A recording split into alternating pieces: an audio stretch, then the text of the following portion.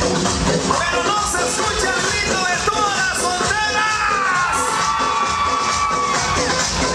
Ahora todo el que sea bien orgulloso, el que tenga mucho orgullo, que se levante un tritón por ¿verdad? Con orgullo que sea el ritmo de toda la raza de Martinica. ¡Hoy!